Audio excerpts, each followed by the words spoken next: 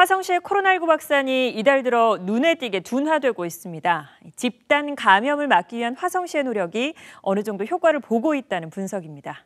이재호 기자의 보도입니다. 화성시의 코로나19 누적 확진자 수는 9일 기준 1,334명. 5월을 1,301명으로 시작한 걸 감안하면 9일간 34명이 새로 확진 판정을 받았습니다. 이달 들어선 하루 평균 4명 미만의 신규 확진자가 발생한 겁니다. 올해 들어 4월까지 화성시의 코로나19는 무서운 속도로 확산됐습니다. 1, 2월엔 일일 평균 신규 확진자 수를 5명대로 유지했지만 집단 감염이 잇따랐던 3, 4월엔 두 자릿수에 육박할 만큼 치솟았습니다. 비상이 걸린 화성시는 3월 중순부터 집단 감염 고위험군에 대한 선제적 전수 검사를 실시했고 이달 들어 그 효과가 나타나고 있다고 보고 있습니다.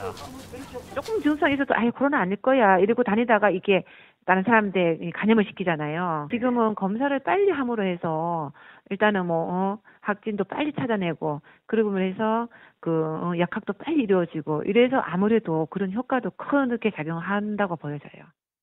5월 확진자들의 주요 감염 경로는 가정 안이었습니다.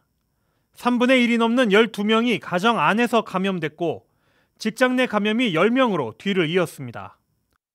5월엔 가족 모임이 많은 만큼 가족들 간의 바이러스 전파 사례는 한동안 이어질 것으로 예상됩니다.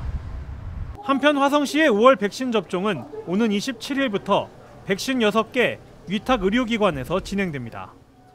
BTV 뉴스 이재호입니다.